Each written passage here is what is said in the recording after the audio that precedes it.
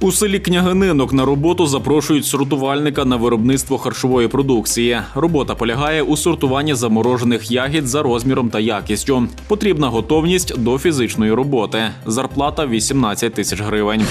У Луцьку є вакансія столяра. Працівник виконуватиме весь комплекс столярних робіт по виготовленню меблів із дотриманням правил техніки безпеки. Заробітна плата сягає від 12 тисяч гривень. У Ковалі є робота для зварника, який працює на машинах контактного пресового зварювання. Від працівника потрібна готовність швидко вчитися. Заробітня плата в місяць 18 тисяч гривень. У Луцьку є вакансія клеєвара. Робота на виробництві целюльози, паперу, картону і виробів з них. Потрібно здійснювати варку клею із різних клейових розчинів, дотримуватися технологічного процесу варіння. Зарплата 15 тисяч гривень.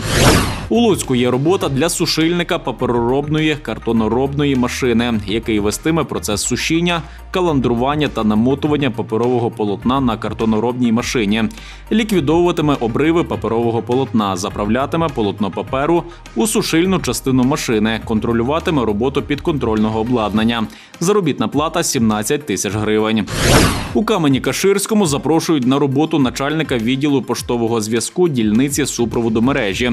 Потрібно займатися організацією роботи відділення, прийняттям та відправленням поштової кореспонденції, виплатою пенсій, соціальних виплат, здійснення грошових переказів. Заробітна плата 12 тисяч гривень.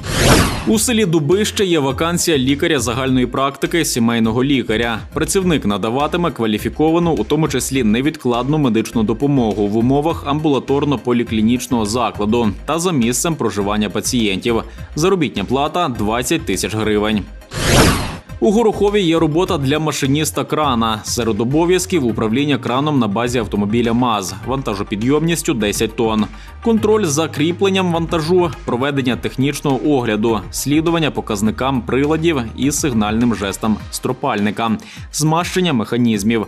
Платитимуть 14 тисяч гривень в місяць. У селі Велика Яблунька є вакансія підсобного робітника. Потрібно проводити підсобні роботи у деревообробному цеху. Робота з 9 до 18.